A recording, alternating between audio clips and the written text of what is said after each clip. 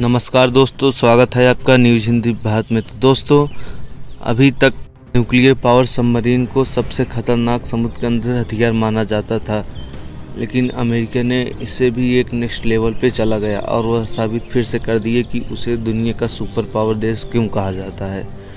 और इससे सबसे बड़ा झटका चाइना को लगा है, क्योंकि चाइना, जो कि बहुत ही बड़ी संख्या में सबमरीन तैयार कर रहा था और दुनिया के सभी देशों के ऊपर दबाव बना रहा था। फिर जापान अमे, अमेरिका ताइवान और इंडिया पे ही क्यों?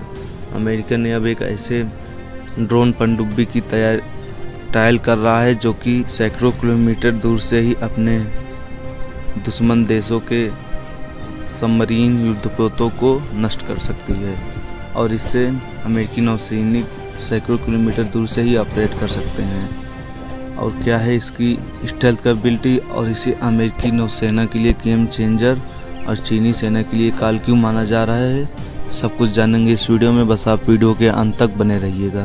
तो दोस्तों, चलिए वीडियो को शुरू कर लेते हैं। तो दोस्तों, अमेरिका की प्रमुख हथियार निर्माता कंपनी बोइंग ने एक ऐसे पनडुब्बी ड्रोन की टेस्टिंग कर रहा है जो जिसे अमेरिकी नौसैनिक सैकड़ों किलोमीटर दूर से ही इस्तेमाल कर सकते हैं और इससे वो दुश्मन देशों के सबमरीन युद्धपोत और एंटी सेप मिसाइल से शिप को तबाह कर कर देंगे। और जिसे अमेरिकी नौसैनिक की जान को भी थोड़ा सा भी खतरा नहीं होगा, क्योंकि वो बहुत ही दूर बैठकर इसे ऑपरेट कर रहे हैं अगर इसके हथियारों की बात करें तो यह 45 लाइट वेट टारपीडो और 48 हैवी वेट टारपीडो को लेकर जा सकता है और इस पर एंटी सिप मिसाइल भी तैयार किए जा सकते हैं ताकि ये सिप को भी तबाह कर सके और यह सतह पर स्थित युद्धपोतों को और समुद्र में सबमरीन सभी को तबाह कर सकती है। और यह इसे दुश्मन देश ट्रैक भी नहीं कर सकते हैं क्योंकि यह एक स्टेल्थ ड्रोन है। दोस्तों, आपको बता दें कि यह सबमरीन ड्रोन इतनी खतरनाक है।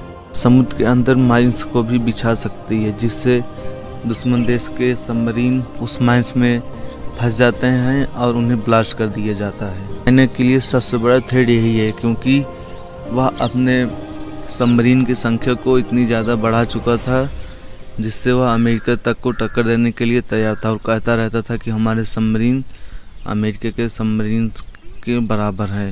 लेकिन अमेरिका ने उन सभी सपनों को पल भर में ही चूर कर दिया और उसने बताया दिया, साबित कर दिया कि वह दुनिया का एक सुपर पावर देश क्यों है?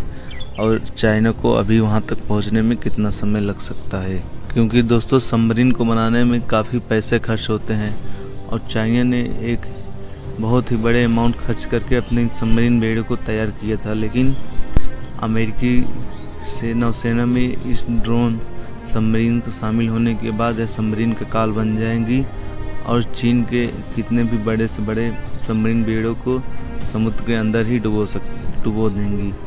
अब देखिए चाइना इसके रिस्पांस में क्या देता है।